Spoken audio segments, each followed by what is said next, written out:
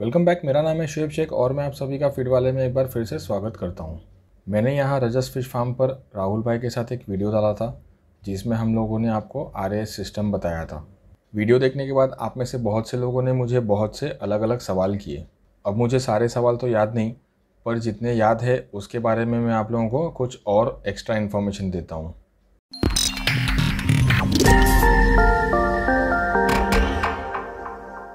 सबसे ज़्यादा आप लोगों का सवाल था कि राहुल भाई का नंबर क्या है।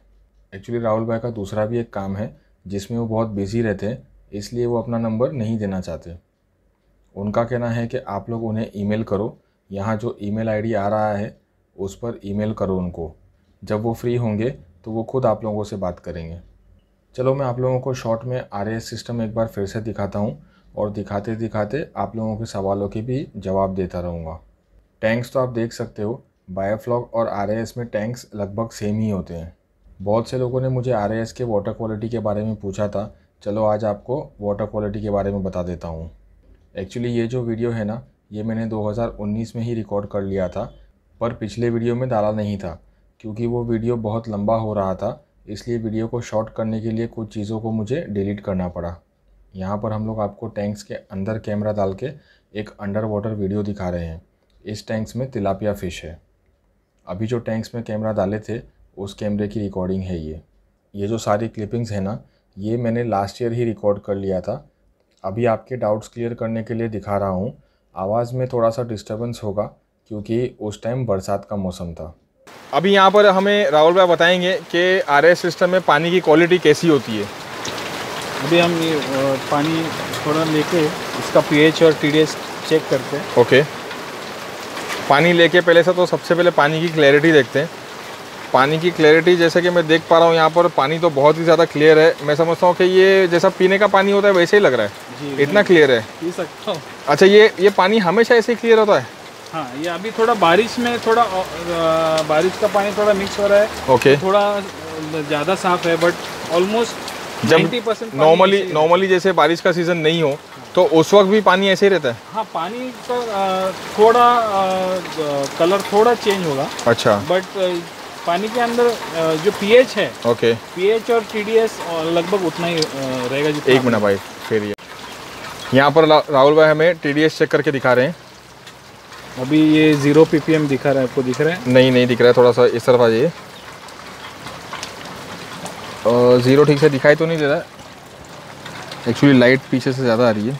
चलिए ठीक है आप ज़ीरो करके बताइए उसमें कितना आ रहा है टीडीएस अभी जो टीडीएस है वो दिखा रहा है थर्टी एट थर्टी एट थोड़ा जूम कीजिए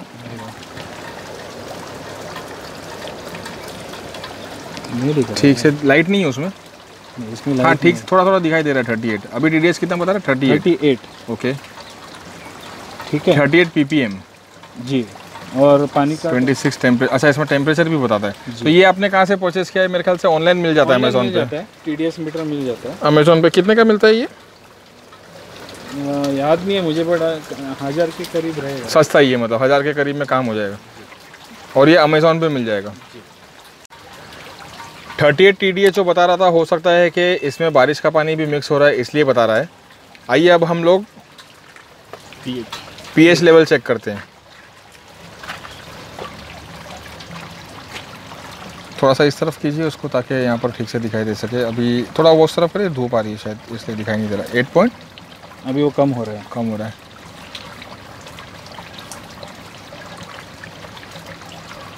थोड़ा सा उस तरफ़ घुमाओ ज़रा। हाँ हाँ अभी भी दिख रहा है बराबर दिख रहा है।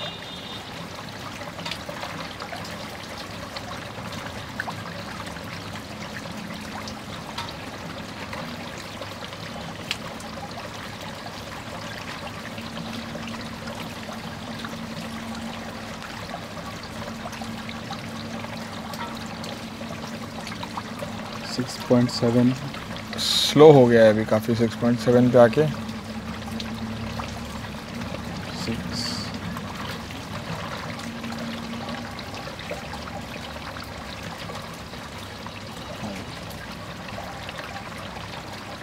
वैसे राहुल भाई, इसका जनरल रेंज कितना रहता है?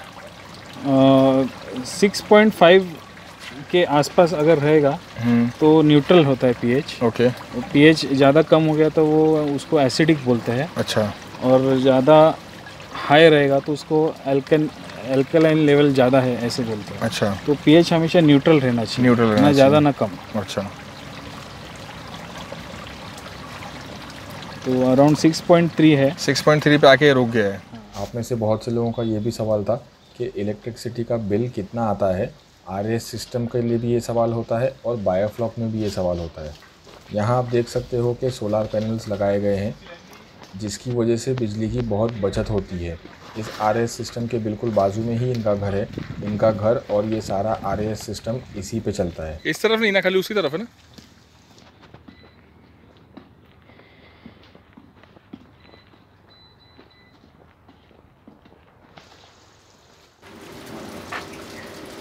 राहुल भाई जरा ये सिस्टम के बारे में आप बताएँगे कि सोलर एनर्जी आप कैसे यूज़ करते हो?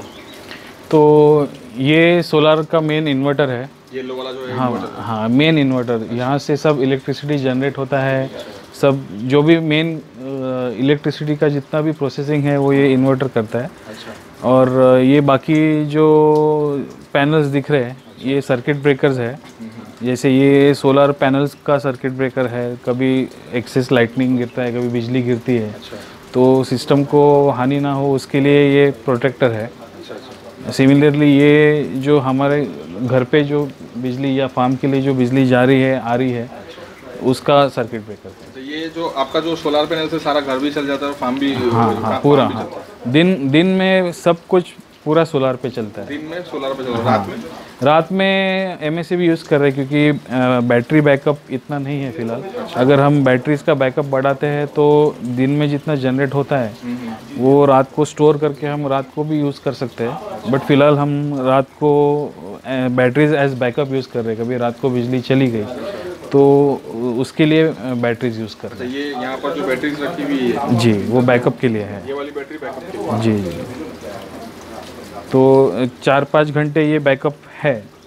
चार पाँच घंटे बैटरीज पे चलता है। चलता है। क्योंकि हमारा आरएस सिस्टम जो है उसके लिए twenty four hour system running चाहिए होता है। बराबर बैकअप तो बैकअप चाहिए ही। चाहिए अच्छा आरएस सिस्टम में जैसे अगर कुछ बिजली की कुछ कटौती होती है कुछ प्रॉब्लम होता है तो मछलियों को थोड़ी दिक्कत हो सकती है? हाँ, मतलब एक आध घंटा आप एक दो घंटा प्रॉब्लम नहीं होना चाहिए वैसे। अच्छा। बट आइडियली 24 घंटा ही ले सकते, हाँ हाँ ट्वेंटी फोर आवर्स रनिंग रहेगा तो अच्छा है।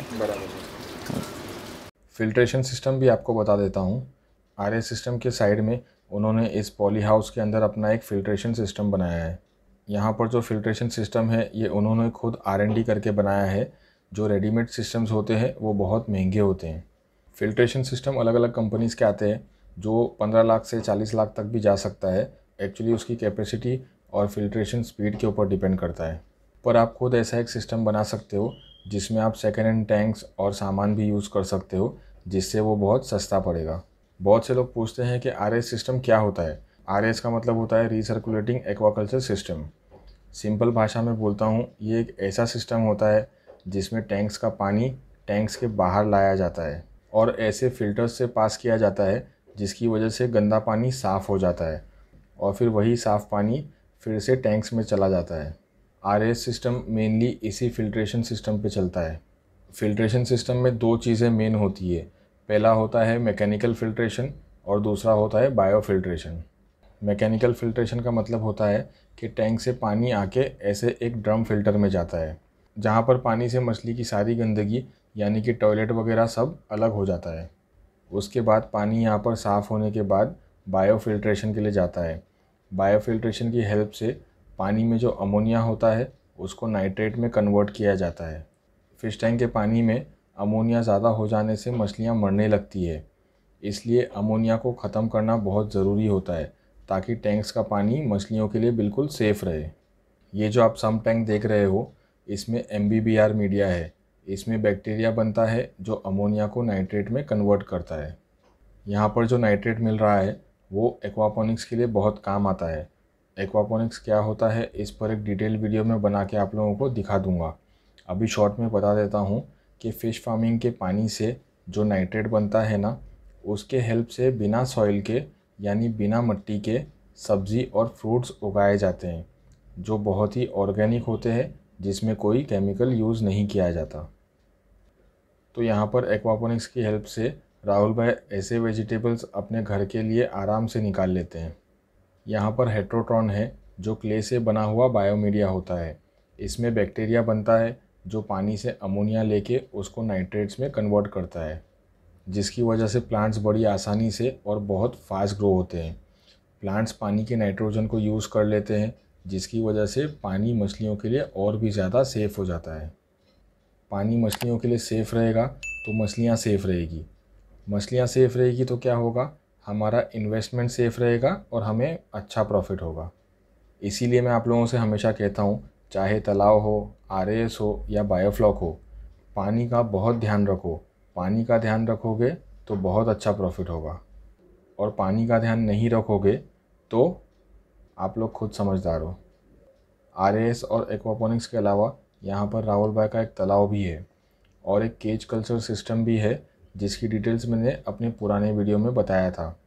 नेक्स्ट वीडियो में आर और बायोफ्लॉक में क्या फ़र्क होता है आर में क्या एडवांटेज होते हैं और बायोफ्लॉक में क्या एडवांटेज होते हैं आर में क्या डिसएडवांटेज होते हैं और बायोफ्लॉक में क्या डिसएडवांटेज होते हैं, इसके ऊपर बनाने वाला हूँ। तो इस टॉपिक पर आप लोगों के कुछ सवाल हो तो मुझे नीचे कमेंट्स में बताना, मैं उसको कवर करने की कोशिश करूँगा। Thank you